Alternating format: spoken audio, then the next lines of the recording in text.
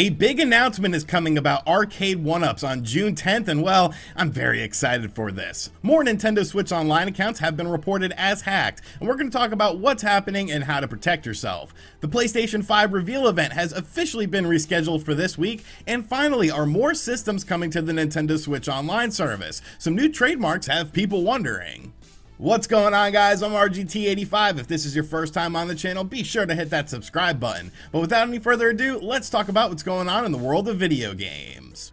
So if you are new to this channel, you might not know this, but if you're a longtime viewer, you would know one thing. I'm kind of a fanboy for Arcade1Up machines. I absolutely find these just fascinating. If you would have told, you know, 10-year-old RGT that, hey, you would have a Mortal Kombat and a Street Fighter arcade cabinet in your house when you're an adult, I'd have been like, you're an idiot. What are we smoking? Get off the drugs, man. The, the, the drugs are killing your brain. They're killing your brain. But now we have gotten to a point where Arcade1Up is allowing people to essentially build build home arcades based on their systems because of the fact that they are a bit cheaper than if you were to buy a brand new arcade cabinet and of course the fact that they're very easy to assemble. They're smaller than a standard arcade cabinet but I think that works out for a lot of people. A lot of people don't have the dedicated room in order to build a standard arcade so these smaller sized arcade machines are just absolutely fantastic for a lot of people like myself. I know that there's a lot of arcade purists out there who just say well just get one off of Craigslist and fix it up. You can get one for like a hundred dollars and it's cheaper and blah blah blah.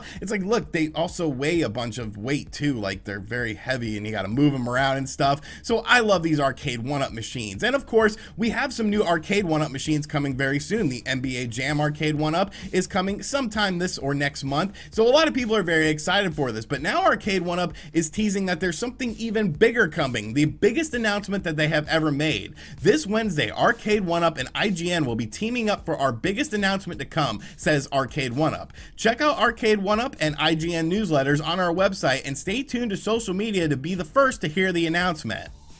So of course a lot of people are going absolutely goo gaga over this, my myself included, because it's like, okay, you've done some big announcements. Like, look, a Mortal Kombat, a Street Fighter, a NBA Jam, these are big announcements. And now you are saying that this announcement is even bigger than those. So I'm trying to think of what this could potentially be. Could this potentially be something with Nintendo and Donkey Kong? Donkey Kong is something that a lot of people would love to have an arcade cabinet for in their house. And of course, working with Nintendo would be a bit strange for Arcade1Up. It would obviously be a very big deal as Nintendo usually doesn't go to outside sources with this sort of stuff. But could it be a Donkey Kong cabinet? Could they be expanding on the Sega relationship that they have? You got to remember, Golden Axe is coming to us from Sega. And while I'm not a huge Golden Axe fan or anything like that, I like the partnership with Sega because there's so many awesome Sega arcade games that I would just die to have one of these cabs for, like a Virtua Fighter, a Daytona USA, House House of the Dead? Could this be light gun games finally coming to Arcade1Up? I think the sky is the limit with this announcement, and I hope that it does, you know, live up to the hype because I'm very hyped for this. Of course, we will talk about whatever this reveal is tomorrow on the channel because I'm definitely watching this with a keen eagle eye. But let me know in the comment section down below what you are hoping to see from Arcade1Up. Have you picked up any of these things? I already have five of them. I really don't have much room for any others, but I will continue to buy them and we will just figure it out as we go along because I love these damn things. So a few weeks ago on the channel, we of course talked about the Nintendo Switch Online service being hacked and people's accounts being compromised and basically fraudulent purchases happening because of this. Now around that time, there was about 160,000 accounts that were being reported as hacked. Now since then, it's actually grown to even more. Nintendo of Japan actually put out a new report this morning and they basically talked about what is happening, how many more accounts were hacked in this situation. So they're reporting that 140,000 more accounts were compromised during this basic breach of information. So now we're at about 300,000 total Nintendo Switch Online accounts that have been hacked and basically been compromised. Basically what they're doing is they're changing the passwords on these Nintendo accounts so that the original user can no longer log into this account and now they are doing fraudulent purchases with these accounts. So now we're at about 300,000. Nintendo is monitoring the situation. They said that they are issuing refunds based on a country to country basis. So I'm not quite sure really how that works out, but it is nice that they are issuing refunds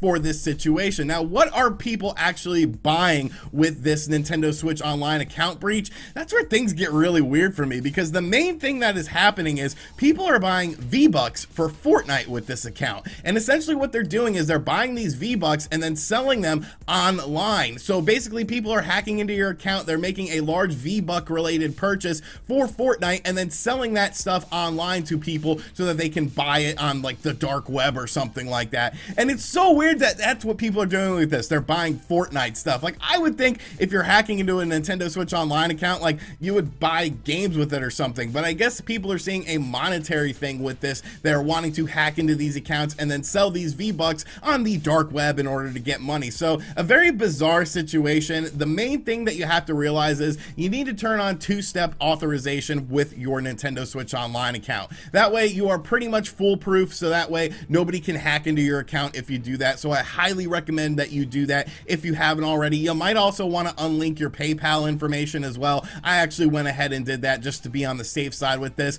but definitely protect yourself out there. You don't want someone getting into your account and then buying a bunch of V-Bucks so that little Timmy can buy them on the dark web and then, I don't know, what the hell do you do with V-Bucks? Cosmetic stuff? Like buy an actual game if you're going to steal.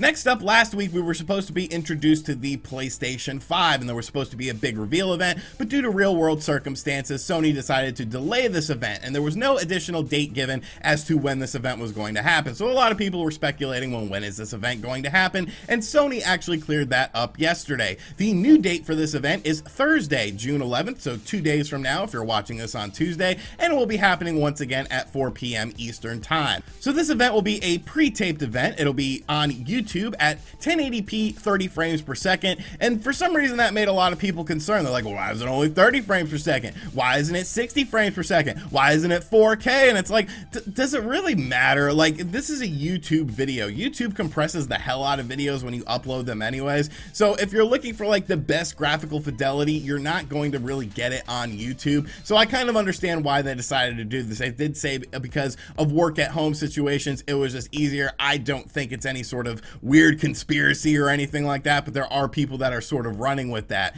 They also did mention that there will be cool audio work in this video, so listen with headphones if possible. And no, I'm not going to listen with headphones. I'll just listen on my speakers because I don't want to use headphones with that. Like, I don't really use headphones when I'm playing games unless I'm playing games online. But I guess it is interesting that there'll be some little audio things, probably some sort of surround sound things that go into it with that. Now, of course, a lot of people are wondering, well, what is going to be at this event? And I have two predictions that I expect to see personally. Those two predictions being Horizon Zero Dawn 2 and Resident Evil 8. I honestly feel like Horizon Zero Dawn 2 is going to be a launch game for the PlayStation 5. Obviously, when you look at the exclusives for the PlayStation 4, Horizon Zero Dawn was one of the bigger ones, and of course, it has been out the longest compared to things like Spider-Man or God of War. So I feel like that has a really good chance of being one of the PlayStation 5, you know, exclusive games at launch or during the launch frame of the system system, so I think that's a safe bet. And Resident Evil 8 is also something I think is going to be at this event as well, and that's pretty much because Capcom and Sony have a working relationship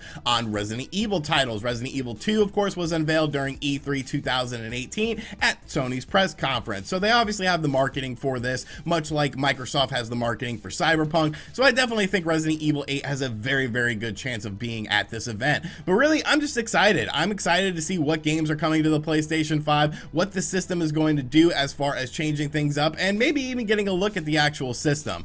And finally, are more systems coming to the Nintendo Switch Online service? Hmm, maybe.